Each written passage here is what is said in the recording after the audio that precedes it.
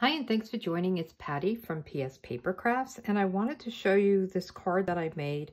I actually used the annual catalog and I cased it. Case is uh, copy and share everything and I loved, I don't know if you can see it, I'll show you on the card. There's just this little uh, kind of pattern in the background here. So I decided to case it exactly as is um, I believe. I think I did everything as is. Oh, they used Pear Pizzazz here, and I ended up using uh, Soft Succulent to match the bow. Everything else is the same, and that is on page 94 of the catalog. So this is the card, and I don't know if you can see, but there's this kind of basket weave um, on each side. And I thought, oh, that's really cool. I like it. So I am going to do that. I'm using the Season's Blessings and these are kind of like poinsettias. And I'm using the basket. And then there's dies that go with it. And I haven't put them out on my uh, my magnet yet. But this I love. I think that will be a great die. And then I use the die to cut out the basket that I'm stamping. So let's get started. I'm using uh, crumb cake. And I have my card base as a standard card base. And then I have this other piece that will come over it. But before I do that, I'm going to do my stamping. Let me get a piece of scrap paper out. And I'm using crumb cake ink. So crumb cake on crumb cake. And let me just make sure this is nice and flat. I'll get my bone folder out. And I am going to probably go off a little bit. That's why I have a piece of um, scrap below it or behind it. So I want to, on the stamp, I'm just going to use the edge, not this, let me just show you, not this, uh, the rim, but just the edge. And I'm going to stamp it across. Let me just ink this up. And since it's photopolymer, it's very easy to see. And I'm hoping I'm lining it up. So I'm going to go right here. And I don't care that the basket is in here. Oh, that didn't come out good. Um, let me get another one. I didn't get enough pressure on it. Okay, so I have another one, and I think it's because I'm, I'm hoping if I pull it down, I'm still in camera, because I think I need to kind of hover over it a little bit better. So let's just ink this up again. Press it down. Okay, so I will ink it. And again, I'm going to go right up to the edge so I don't want the rim on it and we'll just press it down. And it's going to look a little funny, but that's okay. And you just want to line it up so the rim is off and you're side by side with the one next to it. And you don't want it to overlap, but if it does, I think your eye wouldn't even notice it, to be honest. It's just this little background. Okay, so when we put this piece on, we're just going to see that little part. So it's pretty cool. I like that idea. So let's start on this side, and we'll just do the same thing. I'm just trying to get my card to be folded down. Okay, and we'll do just the same exact thing. So I'm trying to get it so that the edge is there and it's lined up right next to the one that's already stamped. Okay, one more. Let's hope this goes well. So, lip up top or the rim. It's a little bit of a gap there, but I think it is fine. It's just supposed to be kind of a background look. So there we go. Isn't that cool? I really like it. So the next thing we'll do is stamp our basket and our flowers. So I have some scrap paper and we'll do the basket um, one more time. So, and I'm going to actually um, stamp it off first. So I'm going to stamp it in the ink and I want a very light color.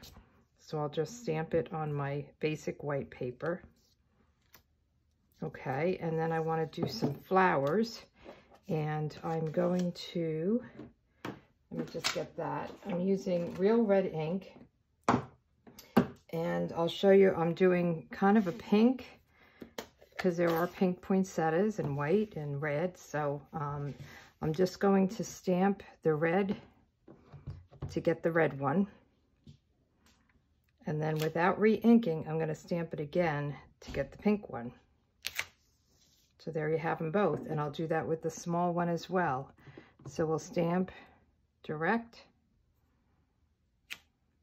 and then stamp again. Isn't that nice? So you're not wasting anything. And now, last but not least, are the leaves. And we're doing that in Evening Evergreen. And I thought these were really beautiful leaves. I did two sets. I think they might have done more in the in the catalog. You don't know what, exactly what they're doing. You try to copy them.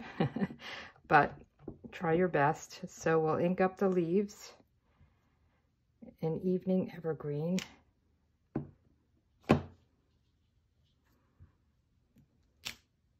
Okay, so that is done.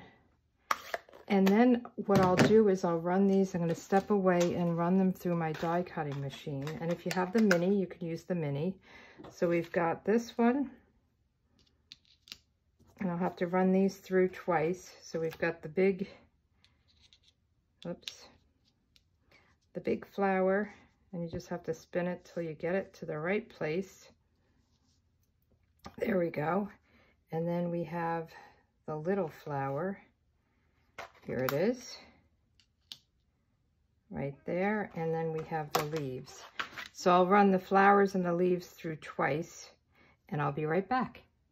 So I have all my pieces cut out. I have the two red and the two pink and the two leaves. So let's start putting our card together. Um, first I'll put this down with some liquid glue. And it really comes together very easy. And I think it's very pretty. It's, you know, it's in the annual catalog, as I said. And kind of overlook it. It's a season's blessings. And, you know, everybody's all big on the, the new mini catalog. Not that it's new anymore, but with all the holiday stuff, it's nice to go back and see what's in the um, annual catalog. So I'll just lay all these pieces out and see where I want them. I put some down flat. And let's see, so we'll put some leaves up here. Kind of put this here. Trying to follow what I did before. And we can put this up here. So I think that looks pretty good. So let's start putting stuff down. And I just like to lay it out so I can see. So some things I did pop up and then some are flat. So I think I'll put this right here. See what it looks like. Okay, let me just twist it a little bit. With the liquid glue, you have that little bit of time. And then we'll put this down. I can't pick it up. And let's put some glue back there. But I think they're really pretty. Put this up here. This will go. I guess I should put the basket down. Wouldn't that be a good idea? Let's put that down before we get too far into it. So just everything liquid glue. You can use whatever adhesive you want. And let's see if this goes right here. Put this one up here. Yeah, I think that's good. Okay. So let's put these leaves down here. And then I'm going to pop up the two red ones. So I love uh, all poinsettias, but I really love the red ones. I think they kind of speak to me. Um, I usually get red ones and have them at my house. And actually last year I put them in the ground and they're growing. They're green. There's no red on them yet. And we're in early November. I'm not sure if they will turn red or not. But we'll see. They look nice and healthy. And I think that's really cool. So I'll just put one of these right in the middle of this. I don't think I need more than one. And put this right here. So it's just a basket of poinsettias. So what color do you guys like? The pink, the red, or the white? And the white sometimes looks like it has pink in it, which is pretty cool. Okay, so that looks good. And then we want to get our sentiment. And I just have a piece of soft succulent and I'll stamp it and then I'm gonna cut it down to size. So it's not any real measurements. So I'll use the Evening Evergreen and the Season's Blessings. I think that's a nice sentiment. And we'll just line this up. And we'll go right here. I go back and forth. The photopolymer I love because you can see, but I like the way the red rubber stamps better. I'm going to leave that open. And we just want to snip this off right about here. If you're not comfortable with this, you can just use your paper trimmer. Not too bad. And we'll put this right here. I think I have my basket, should be over there a little bit, but this is okay. And we'll just take a couple of dots or um, dimensionals. We'll put three on. and put this on and put a bow on and then uh, we can do the inside. I, I'll show you what the inside of this is. I used the stamp from the set, but I think I'm going to use something a little more Christmassy. So we'll put this here. I'll get some soft succulent ribbon and tie a bow.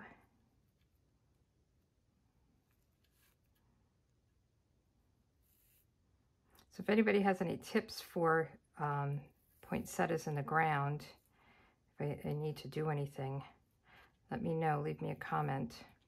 I see them in the neighborhood, so I know they can be, you know, down in Florida, they can be put in the ground. And I just really took a chance on it. We'll see. If it doesn't turn red, nothing lost. It's a pretty plant anyway. So we'll just put this right here. I'll move it over here to um, because I'm a little off center. Oops, just cutting this down a little bit. So let me get a glue dot and we'll just take a glue dot, put it on the back of this, and then we've got the front of our card done. Oh, we have one more thing to do. I always forget the gems. So I was trying to figure out what color gems to put in here, and I decided that I would use these um, wonderful gems. So there's red, and then there's this clear with gold speckles in it. And I thought that would be perfect. Let me get my pick tool, and I put the, the smaller ones in. And I put the red in the red. You could put all red or all clear with the, the gold or you can mix them up. And I always think this really finishes off the flower when you have some kind of a glittery inside. Not pretty? I love this. That's what kind of drew me to the card. You know, I do look at the catalog to see, um, you know, examples and try to get them. And a lot of times I'll just get the idea. I won't copy it 100%. Come on. um, but this one, I just loved it, so I went for it all in. So on the inside of this, I put two of the poinsettias, and I have the May Your Day Be Filled with Good Things. But for this one, I'm taking a sentiment from the Christmas to Remember. This is kind of a go-to for me for Christmas. And I'm doing uh, Love and Joy Come to You and May It Last the Whole Year Through. It has really nice sentiments for Christmas. So we'll do this in the green. That's why I left my green out. And then we'll do some poinsettias. So let's just get this inked up. I just want to make sure it looks good. Perfect. Let's see if we can get it perfect on the card.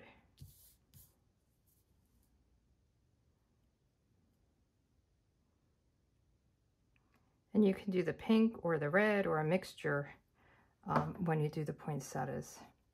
So we'll close this up, get our real red out again. I have these things everywhere.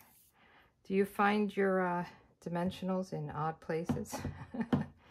you go to bed at night and something will fall off or you're getting changed. There's one and then the little guy up here. All right. I think it's pretty. And I think there are stamps. Are there stamps? Yeah, so you could do some kind of little dots on the inside of these. I think there might be for this flower, but I bet you you can use them for the center of this. I'm going to leave it as is on the inside. And let me get my stamp and seal for the inside layer.